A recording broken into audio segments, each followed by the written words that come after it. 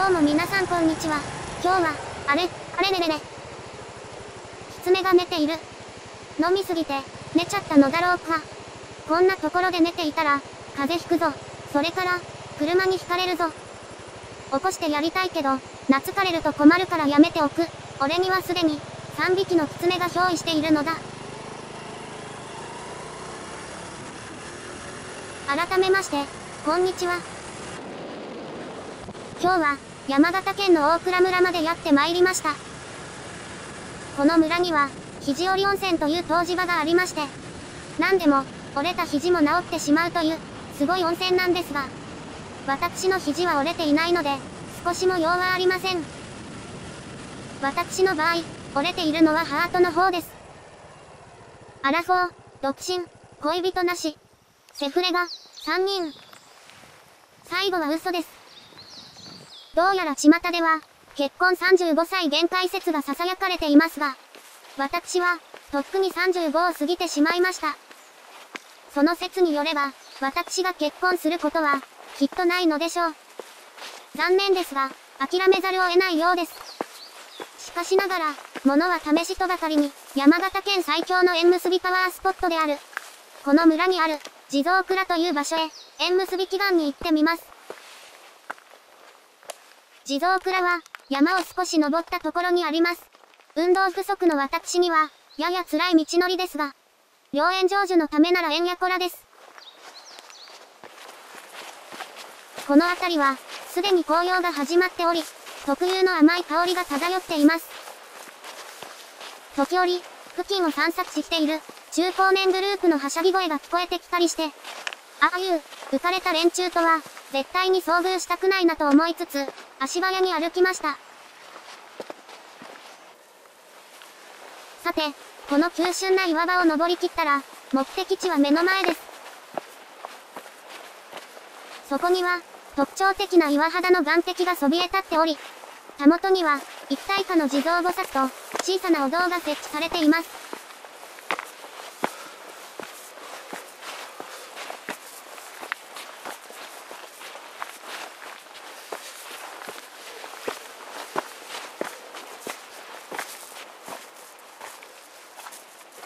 さあ、お堂が見えてきました。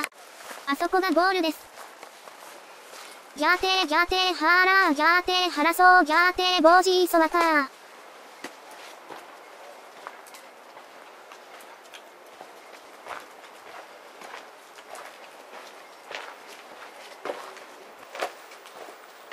それじゃあ、私は、ちょっくら拝んできますので、しばしお待ちを。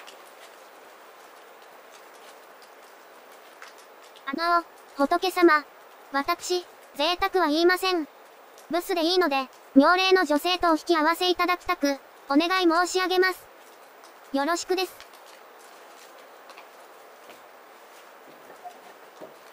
おや、これ、中に入れんのかな？お、開いた。参拝者が、記帳するノートが置いてあるので、入ってもいいようだ。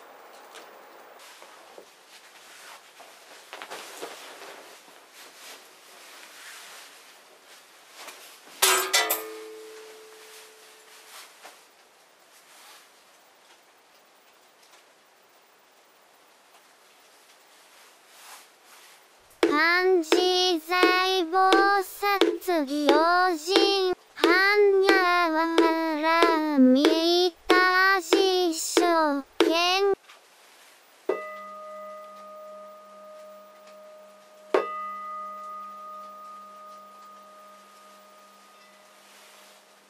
あの、仏様、先ほど、ブスでいいと申し上げましたが、やっぱり、美人とお引き合わせ願います。よろしくです。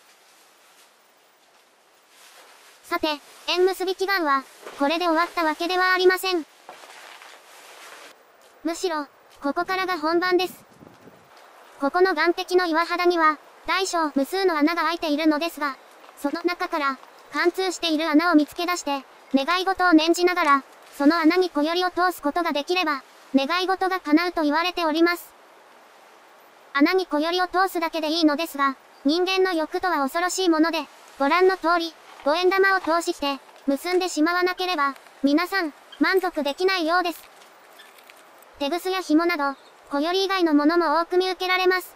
どいつもこいつも、己の欲深き魂を恥じろ、と言ってやりたい気分です。それでは、私も、やってみたいと思います。まずは、小よりを作ることから始めます。和紙を使いたかったのですが、なかったので、A4 のコピー用紙です。そして、3本寄りにして、3倍の効果を狙う。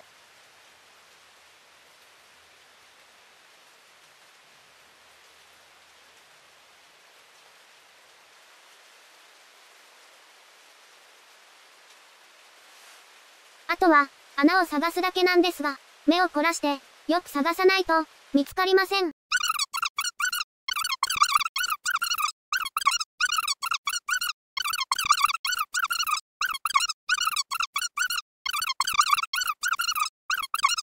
ここにありました。では、一部始終を見るがいい。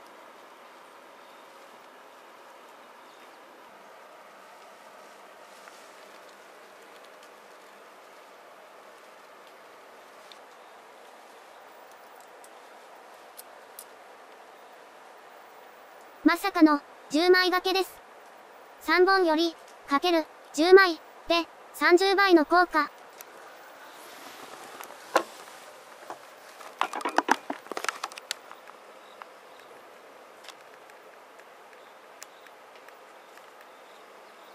我ながら、なかなかの強欲さである。ダメ押しで、お地蔵様にも、縁結びを頼み込んでみました。すると、驚いたことに、お供え物にカップヌードルがありました。ご丁寧に、お湯も入っています。遠慮なくいただきます。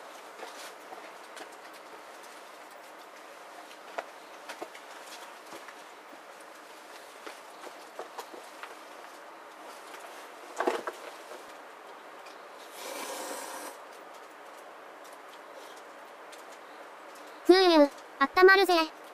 なんか、早速、ご利益に預かっちゃったな。でもなんか、自分だけじゃ悪い気がするから、この動画を見ている、不幸なお前たちの分も、小よりを投資してやるよ。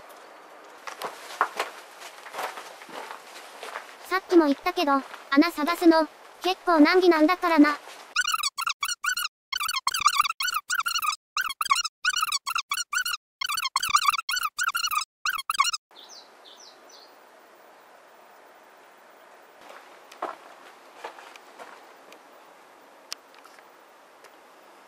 はい、これが、お前たちの分だ。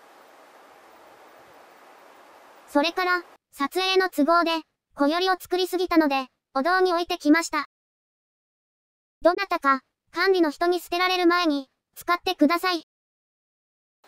それにしても、いいことをすると、気分がいいぜ。多分だけど、俺、六道輪廻から下脱できるわ。じゃ、そろそろ帰ります。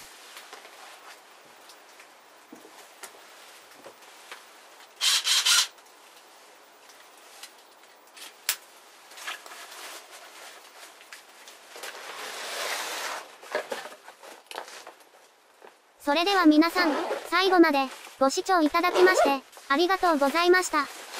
さようなら。